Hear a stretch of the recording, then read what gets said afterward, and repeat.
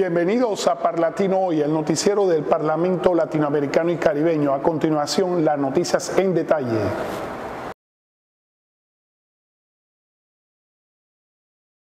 El Parlamento Latinoamericano y Caribeño ha dado prioridad al tema de la igualdad de género. Es por ello que por iniciativa de la presidenta de nuestro organismo, senadora Silvia Jacopo, se creó la Oficina de la Mujer. Recientemente en Panamá se realizó el encuentro parlamentario regional Balance y desafíos para el avance de las agendas legislativas hacia la igualdad de género en América Latina y el Caribe, con el apoyo de ONU Mujeres. A continuación, las opiniones de expertas, ministras, panameñas, parlamentarios y parlamentarias vinculados al tema del empoderamiento de la mujer.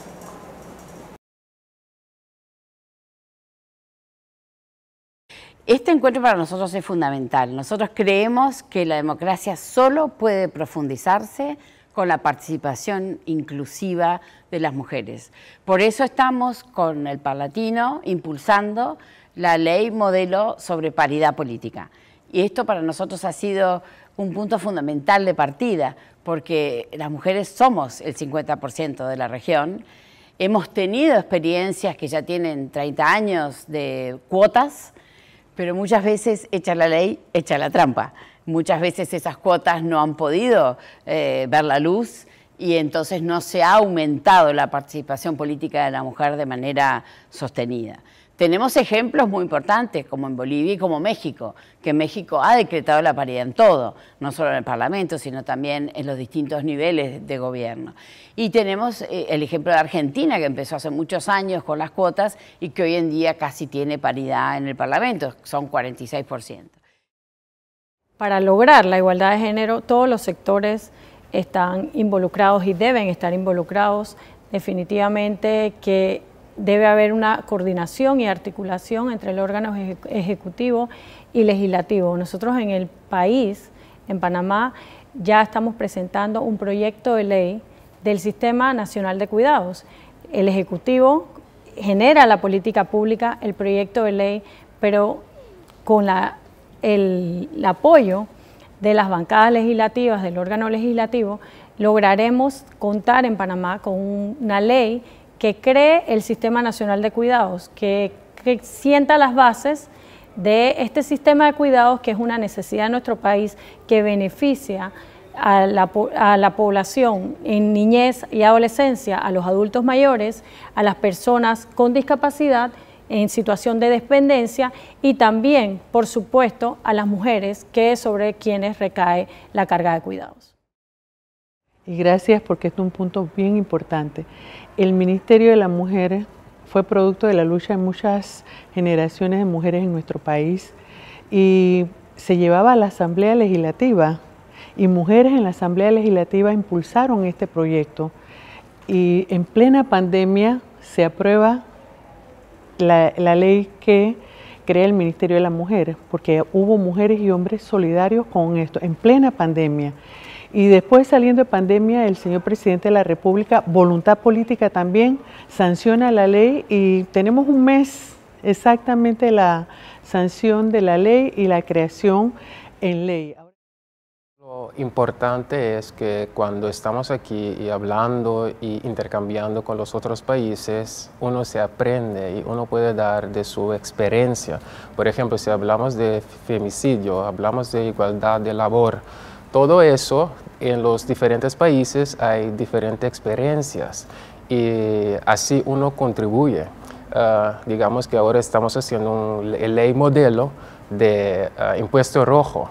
Es algo completamente nuevo en el mundo también y de esa forma podemos uno, uno al otro, los países latinoamericanos, también los países caribenses, aportar para mejorar nuestra región. Bueno, yo creo que el primer hecho fundamental es que avancemos juntos. Eh, el tema género no es un tema de mujeres, es un tema de la sociedad y por lo tanto es fundamental e imprescindible que los parlamentos en su conjunto, hombres y mujeres, lo incluyan en las agendas.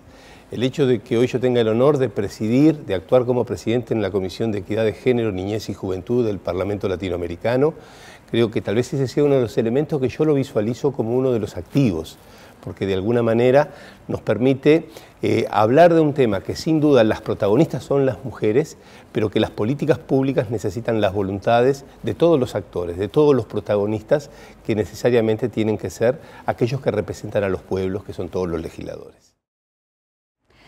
Creo que primero hay que resaltar que esta equidad y paridad dentro de lo que es el ámbito legislativo en el Estado plurinacional de Bolivia ha sido resultado de mucha lucha de todas las mujeres desde tiempos muy antiguos, donde nuestras eh, mujeres líderes de las organizaciones sociales han consolidado varias normativas desde la Constitución Política del Estado, que se ha relanzado el 2009, donde se ha reconstituido nuestra República entonces de Bolivia a un Estado plurinacional de Bolivia.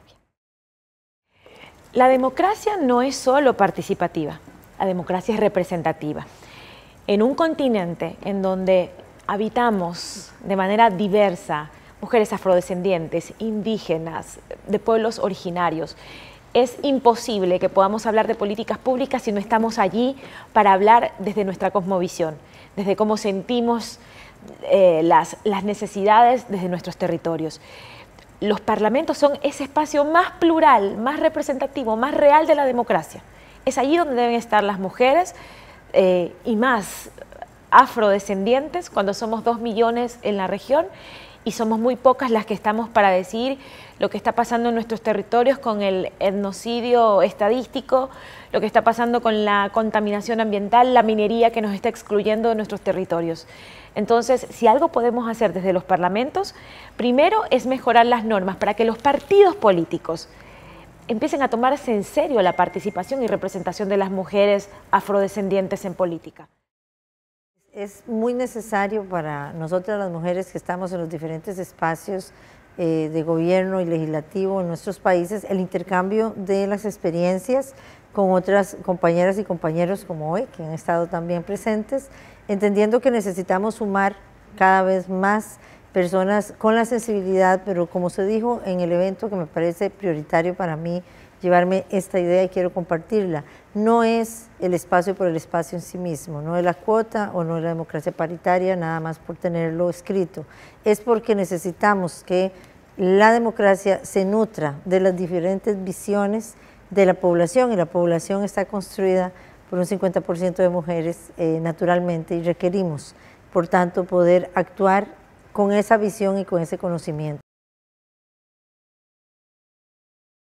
Los colegas del canal Congreso de México nos dan a conocer la siguiente información.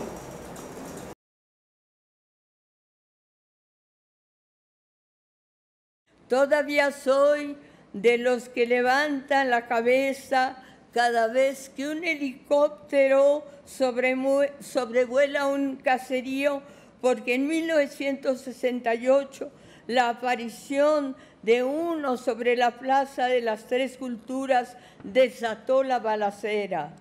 Vivir este acontecimiento sigue siendo una profunda herida hasta el día de hoy.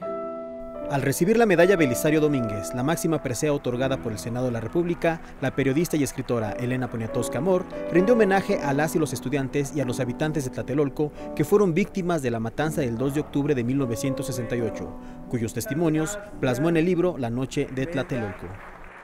La Cámara de Senadores galardonó a Elena Poniatowska en reconocimiento a su obra, a su servicio a la patria, espíritu cívico, humanismo y defensa de las libertades. Fui una joven preguntona, sigo siéndolo y todavía insisto en los por qué, para qué, cómo, cuándo, dónde. En la avenida San Juan de Letrán, que así se llamaba el eje central Lázaro Cárdenas, caminé entre personajes populares, amé a los cilindreros, hoy a punto de desaparecer, Inició su carrera periodística en 1953. Así lo recordó en el discurso en el que recorrió pasajes históricos del siglo XX, como el terremoto que derribó al Ángel de la Independencia en 1957, así como la aparición del Ejército Zapatista de Liberación Nacional en 1994. Supongo que muchos esperaban este, un discurso, un texto político y lamento decepcionarlos, pero estoy pero, pero estoy tan, estoy tan llena de agradecimiento que solamente puedo decir gracias, gracias y otra vez gracias. La senadora Sacil de León destacó la relevancia de la entrega de la máxima presea a la escritora en la edición correspondiente a 2022. Hoy, este Senado de la República le reconoce como referente para las mujeres mexicanas y para las distintas generaciones que por medio de sus obras han podido conocer el contexto político e histórico de ese otro México, el de los olvidados. El nombre de Elena Poniatowska Amor se inscribió en el muro de honor de la vieja casona de Jicotencatl. Posteriormente, se rindió también una guardia de honor en memoria del senador Belisario Domínguez, quien repudió el régimen del usurpador Victoriano Huerta y por ello fue asesinado en 1913. A esta ceremonia acudieron el presidente de la mesa directiva de la Cámara Baja, el diputado Santiago Krill Miranda, en representación del Poder Ejecutivo, acudió el secretario de Gobernación Adán Augusto López Hernández y en representación del Poder Judicial el ministro Alberto Pérez Dayán. Informó para Parlatino TV Juan Pablo Guerrero.